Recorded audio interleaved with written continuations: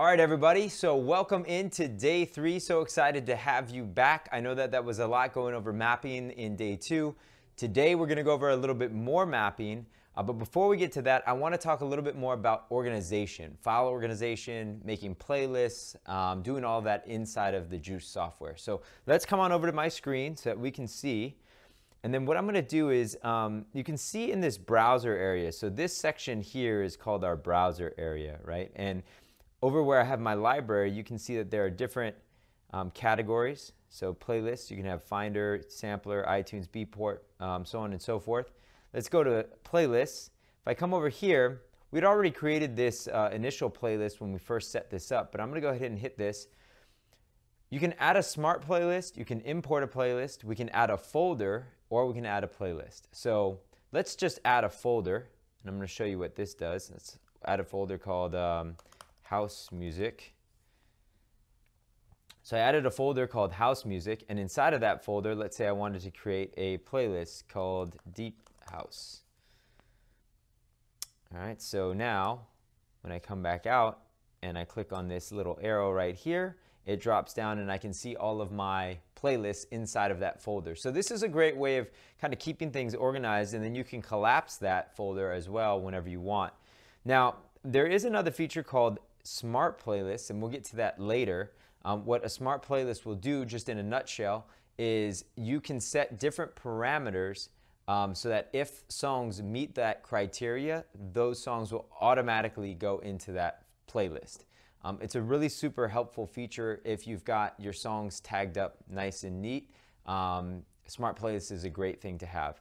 So when I come back out here, and by the way, you'll see that if I were to drag a song, let's say I drag Imagino, and I drag that into my Deep House playlist, it's not Deep House, but I'm dragging in my Deep House playlist, then I can see it here.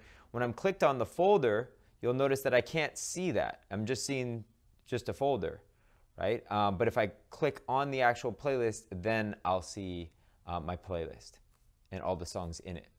Great. Now, one other thing that I want to show you while we're in here is how I can actually change which fields I'm seeing here inside of my browser. So if I control click um, I'll be able to, in fact, actually, let me do it over here. So if I control click, you'll see all of these different types of categories. Now, one of the categories I really like to have is this comment field. So I'm going to add that back.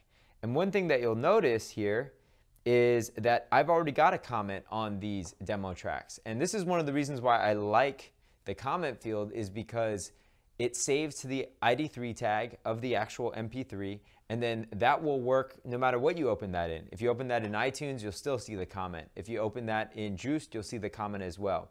Um, and then I don't really need the album, so I'm gonna get rid of the album. So you can see you can kind of clean things up and make them whatever you want them to be.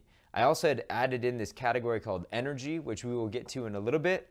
And I also have this category called key, which we will also get to in just a little bit. But what I would like for you to do is at least just get yourself familiarized with how the playlists work. Maybe start making a playlist. This can be the songs that you want to put in here that would be inside of your very first mix. And that might be a good playlist to start with. All right, something else that we can do too is if you, you remember how I told you that I wrote these comments on this already, right? So if you wanted to edit my comments, you can. If I go ahead and click it once, and wait for a second. Then now this shows up and now I can edit the tag. So I can say great or whatever you want there. And then I can always drag these sections out. But you'll see that when I did that, all I did was I clicked on it and then waited a second and then it turns gray and now I can edit it. So uh, let's say I wanted to add in a genre. I'm going to call this uh, Latin. Um, it comes in there. I can also add more than one if I want. This is your library, so I think it's really important that you tag things how you want them to be tagged. I'm going to type PNG, which is the name of the, the group. And for me, I organize my music that way, um, or at least for my files. Uh, Feeling Good is, is one of my projects that I have. And so um, inside of my playlist, I might have like a Feeling Good folder for when we perform together um, these would be some of the tracks that we perform. So you can tag things however you want, make your library your own. Uh, go ahead and try to do that, and uh, I will see you on the next one.